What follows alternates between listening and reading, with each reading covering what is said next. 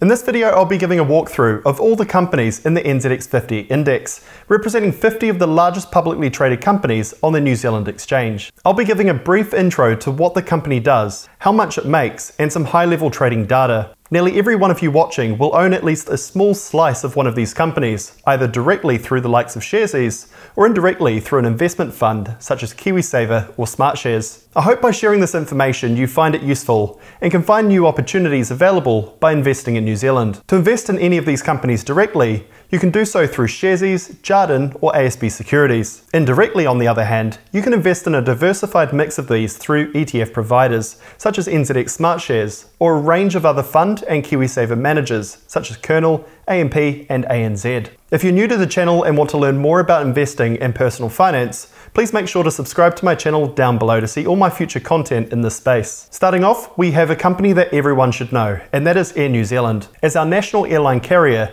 they carry people and cargo on domestic and international air routes. They were founded in 1940, are headquartered in Auckland, and have a revenue in excess of 2.3 billion each year. Since COVID, the business has been heavily impacted with a significant decline in its stock price a halt on paying dividends, and have been making a loss since. Today they have a market value of $3.4 billion and will be one to watch as more people start flying again in 2023. Second up, we have ANZ Bank, which is one of Australasia's largest financial service providers. They serve retail, commercial, and institutional clients around the world, but mainly in Australia, New Zealand, and the Pacific Islands. It was founded back in 1835, even before the Treaty of Waitangi was signed, and is headquartered in Melbourne, Australia. Their revenue is around $29 billion a year, and they have a market value of 76 billion, making it one of the largest companies listed on the New Zealand Exchange. Its dividend yield is just over 6%, and it currently trades at a PE ratio of 10.24.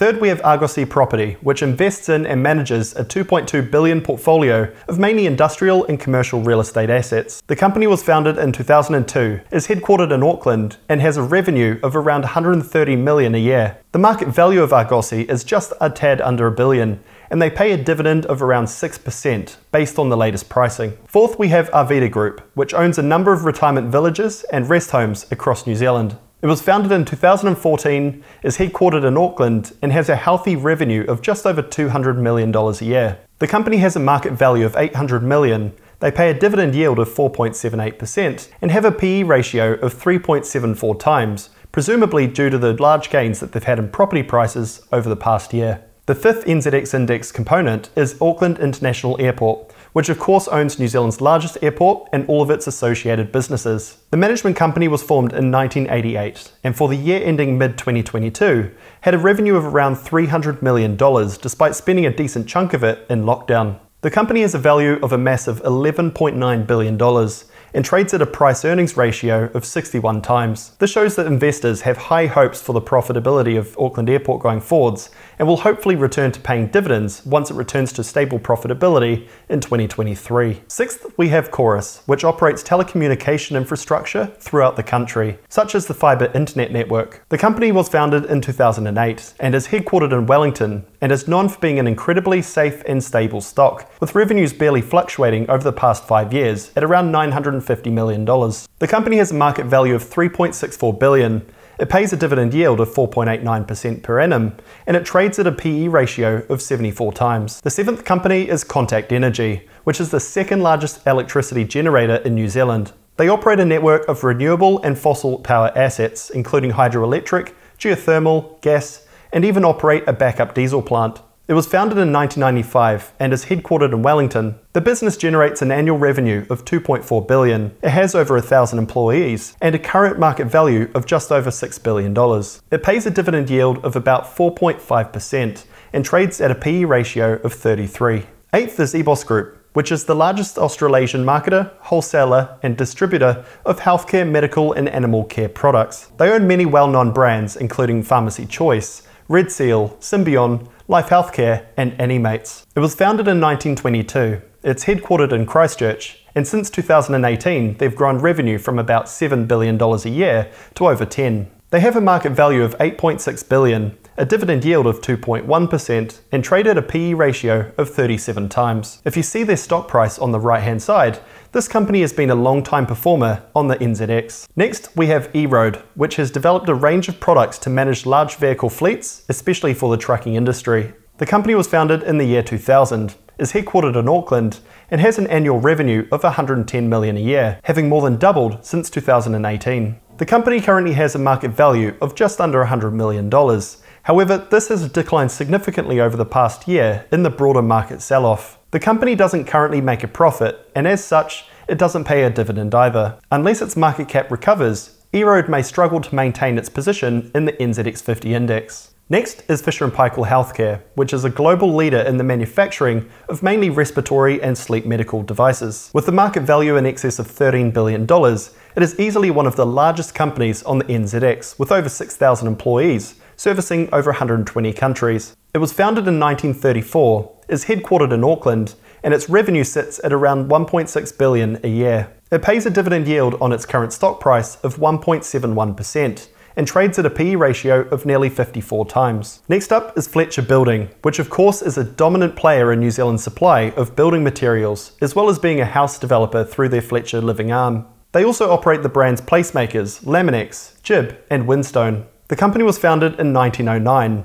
is headquartered in Auckland and hires over 14,500 people. It has also had pretty stable revenue over recent years of around $8.5 billion a year. Fletcher's also has a market value of 3.7 billion, trades at a PE ratio of 9.8 times, and pays a dividend yield of around 8.3%. Next is Fonterra Shareholders Fund, which are an interesting feature in the NZX50 index, as it doesn't behave like a traditional stock would. The fund owns an economic right to Fonterra stock, and by investing in the fund, you're investing in a copycat Fonterra stock. This is because Fonterra is a cooperative, and its stock can only be held by its farmers. If Fonterra pays a dividend, the fund shares this with the unit holders as well. In 2022, they paid total dividends of 20 cents, giving it a dividend yield of about 6% on the current price. Next is Freightways, which is a logistics company for New Zealand, operating businesses including New Zealand Couriers, Big Chill, Post Haste, and Sub 60, among others. The company was founded in 1964,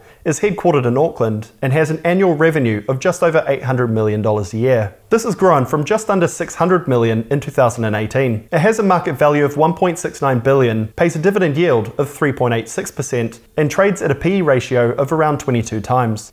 Next is Genesis Energy, which like Contact is another large supplier of electricity in New Zealand. They are the largest retailer of electricity and natural gas, but only the third largest generator. Along with their renewable electricity assets, they also operate the Huntly Coal Plant.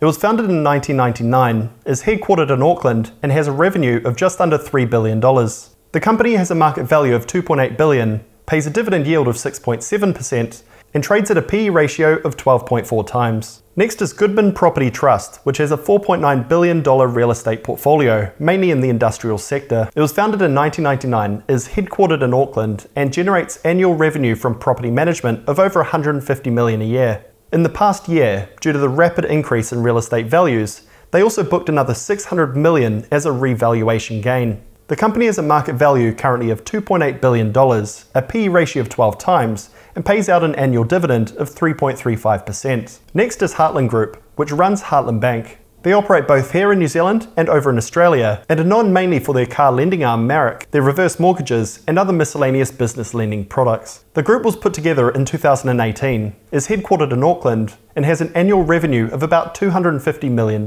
They have a market value of 1.27 billion, trade at a PE ratio of 11.22 times, and pay a healthy dividend of 6.08%. Next is Infratil, which is a large infrastructure investment company that invests in the key assets of the future, including renewable energy, digital assets, healthcare, and airports. Currently, they have large ownership stakes in Manawa Energy, CDC Data Centres, Vodafone New Zealand, and Wellington Airport. Infratil was founded in 1994, is headquartered in Wellington, and in the latest financial year, they made an annual revenue of $860 million.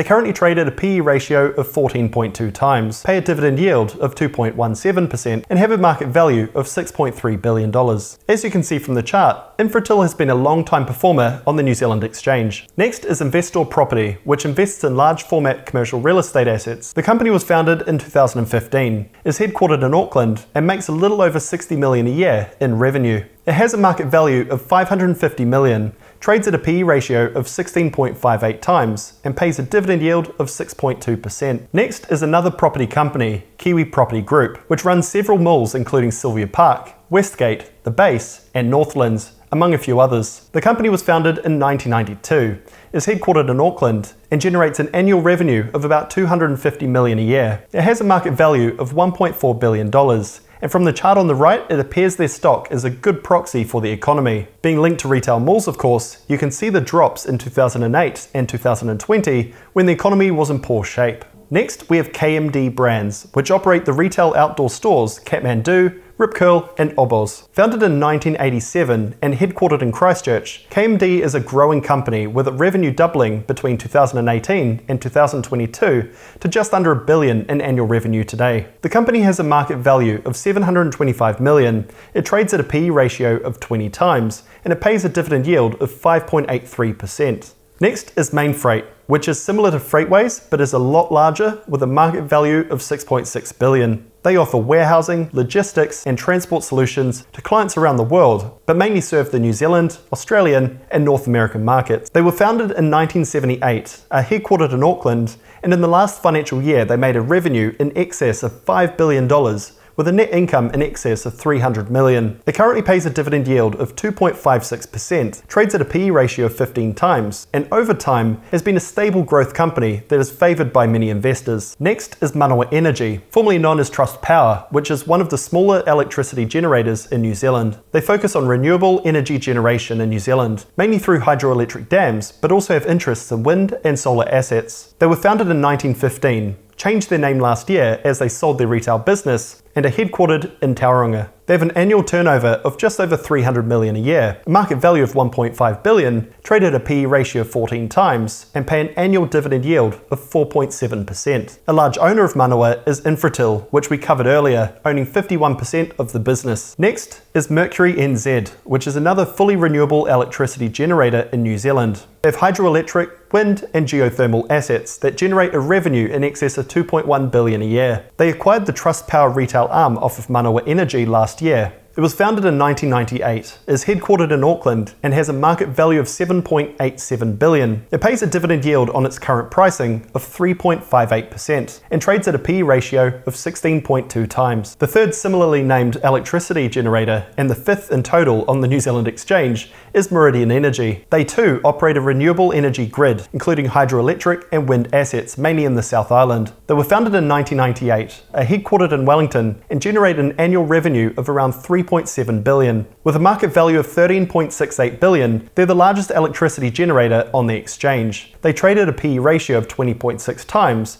and pay an annual dividend of 3.2%. Now, moving away from power companies, we have the stock market itself, NZX Limited. Their main operations are not only limited to the management of the stock exchange itself, but also offer a range of investment products, including the market-leading SmartShares ETFs. The company was founded in 2002 and is of course headquartered in Wellington at its namesake offices. They generate an annual revenue of just under 88 million and have a market value of 380 million. They trade at a PE ratio of 24 times and pay an annual dividend yield of 5%. NZX has benefited over recent years with the increasing knowledge of investing and ease of access to the market through the likes of Sharesies. Next is Oceania Healthcare, which offer retirement villages with a greater focus on healthcare and assisted living than the other providers on the exchange. They were founded in 2008, are headquartered in Auckland, and have a growing revenue year over year, now standing at 230 million. Currently, they have a market value of 569 million trade at a PE ratio of 15 times, and pay an annual dividend yield of 5.45%. Next up is Pacific Edge, which also work in the healthcare space by creating innovative cancer detection technology. They were founded in 2001, are headquartered in Dunedin, and have modest revenues of about 13 million a year. Sales growth is in the double digits for this company, and it currently does not turn over a profit nor pay a dividend. It currently has a market value of 400 million, and as you can see on the right hand side, has had a volatile stock price. This can be very typical in the healthcare space, as the industry is heavily dependent on regulatory approvals and change. Next is the Port of Tauranga, which of course operates the cargo and shipping port based in Tauranga. They were founded in 1985, are based of course in Tauranga, and have annual revenues of 375 million a year. The company currently trades at a market value of 4.25 billion, trades at a PE ratio of 37 times, and pays a dividend yield of 2.3% a year. Over recent years, as you can see on the chart to the right, the stock price has been steadily increasing. However, it began to fall throughout 2021 and 2022. Next is Precinct Properties, which manage landmark office towers in Auckland and Wellington CBDs, including the PwC Tower, ANZ Centre, and the HSBC House. They generate annual revenues of 200 million and have a market value of $2 billion.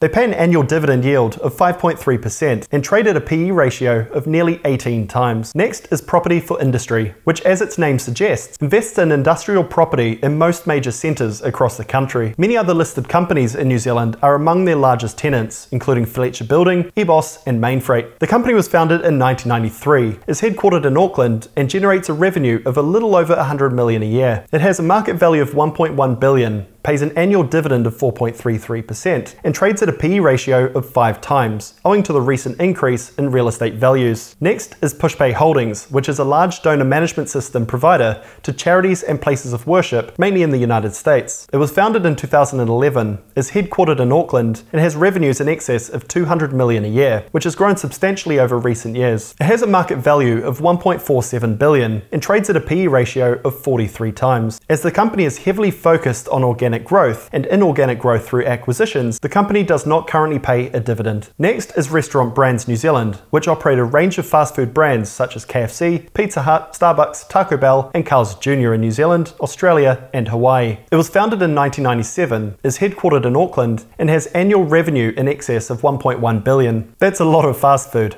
The company has a market value of 697 million, trades at a PE ratio of 21, and pays an annual dividend yield of 5.7%. Next is Ryman Healthcare, which develop and manage retirement villages in New Zealand and Australia. It was founded in 1984, is headquartered in Christchurch, and has an annual revenue of 500 million a year. They've also been a large beneficiary of increasing real estate prices, with their PE ratio being artificially inflated to just under 5 times. This is because for many of these real estate based companies, they can realize the gains made on property as income to elevate their earnings. Ryman has a market value of 2.8 billion and pays an annual dividend yield on its current traded price of 4%. Next is Sanford, which is a large player in New Zealand's seafood and aquaculture industry, especially in salmon and mussels. The company was founded all the way back in 1881, is headquartered in Auckland down by the fish market, and has an annual revenue in excess of 500 million. It has a market value of 392 million, trades at a PE ratio of 6 times, and pays an annual dividend yield of 2.4%. Next is Scales, which provides logistics to the export sector for food and horticulture, as well as being a fully integrated apple grower through its Mr. Apple brand. It was founded in 1897, is headquartered in Christchurch, and generates an annual revenue of $500 million. It has a market value of 568 million, trades at a PE ratio of 22 times, and pays an annual dividend yield of just under 4%. Next is Serko, which provide corporate travel and expense management software to businesses. It was founded in 2007, is headquartered in Auckland, and generates annual revenue of $17 million. They don't currently turn a profit as they're building up the business, and therefore they don't currently pay a dividend. Serko has a market value of 275 million, and as you can see on the right, their stock price has had a volatile few years during the pandemic. Next is Skellerup Holdings, which has a diversified portfolio of companies across a range of industries. Beyond just manufacturing red band gumboots, they also build a range of products and machinery catering to the industrial and dairy sectors. They were founded in 1910, are headquartered in Auckland, and generate a revenue in excess of 300 million a year. They pay a healthy annual dividend yield of 3.8%, have a market value of just over a billion dollars, and are trading at a PE ratio of 22 times. Next is Sky Network Television, which is New Zealand's main pay television provider for a range of channels. It was founded in 1987, is headquartered in Auckland, and generates revenue in excess of $700 million a year. If you go back a few years, the company struggled to make a profit, but more recently has managed to return to decent profitability. It has a market value of 345 million, trades at a PE ratio of 5.4 times, and pays an annual dividend yield of around 3.7%. On the right hand side, you can see that the stock price is at a wild ride, despite its return to profitability, but now has new management to take the company forwards. Next is Sky City Entertainment Group, which operate a number of casino, hotel, hospitality, and convention assets in New Zealand and Australia. They were founded in 1996 and are headquartered in Auckland. In the most recent financial year, they generated revenues of over $500 million. However, they turned over a slight loss, somewhat influenced by the pandemic and 2021 lockdowns, which would have disrupted their patronage. Currently, they have a market value of $1.9 billion. Next is Spark, which is one of New Zealand's largest providers of telecommunication services, such as mobile and internet connections. It was founded in 1987, is headquartered in Auckland, and is a consistent revenue earner, with a 3.7 billion turnover in the last financial year. It has a market value of just over $10 billion. It trades at a PE ratio of 24 times and pays out a dividend yield of 4.72%. Next is Stride Group, which owns a diversified real estate portfolio of office, retail, and industrial properties throughout New Zealand, including the Northwest Mall in Auckland. They were founded in 2016, are headquartered in Auckland, and generate annual revenues of over 170 million. They have a market value of 770 million and pay an annual dividend yield of just under 8%, based on the latest stock price. Next is Summerset Group Holdings, which is similar to Ryman Healthcare in that they operate a range of retirement villages throughout New Zealand. It was founded in 1994, is headquartered in Wellington, and has annual revenues of around 200 million a year. Like the other real estate companies on the exchange, they too have seen a one-off hike in earnings in 2022.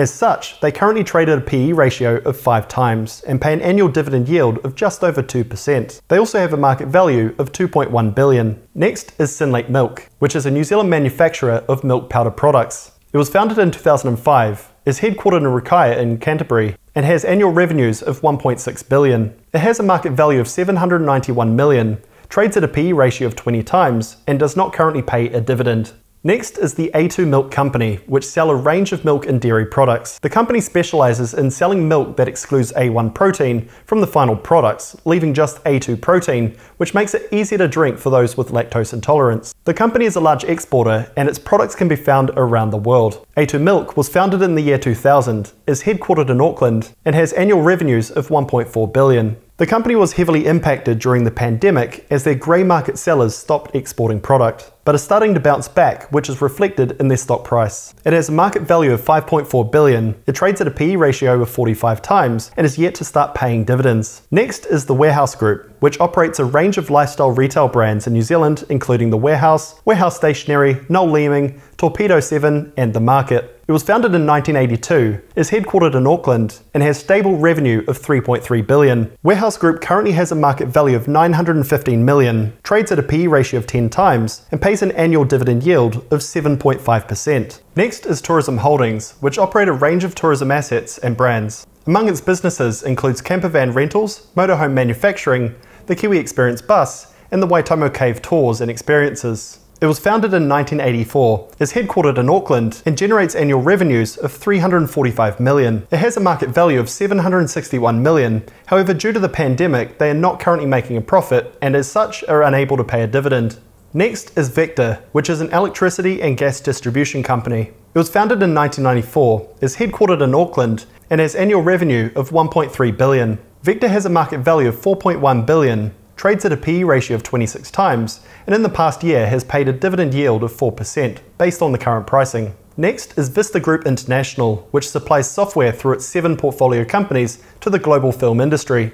It has provided its software to cinemas in over 100 countries, and this allows it to generate annual revenues in excess of $100 million. It was founded in 2003, is headquartered in Auckland, and has a market value of 356 million. Next is Vital Healthcare Property Trust, which is a real estate investment fund that invests in health and medical properties both in New Zealand and Australia. It was founded in 1994, is headquartered in Auckland, and has a portfolio worth 3.3 billion. In the most recent financial year, Vital earned property income of 123 million and realised a gain on its property of 300 million. Vital has a market value of 1.5 billion dollars, trades at a PE ratio of 4 times and pays an annual dividend yield of 3.75%. And finally, we have Westpac Bank, which like ANZ Bank offers a range of financial services in New Zealand and Australia. It was founded in 1817, is headquartered in Sydney, Australia, and has annual revenues of about $20 billion a year. It has a market value of $88 billion, trades at a PE ratio of 15 times, and pays an annual dividend yield of 5.35%. I hope you enjoyed the video, and if you did, please make sure to subscribe to my channel down below to see all my future content in the personal finance and investing space. Thanks for watching, and I look forward to catching you on the next one. Cheers.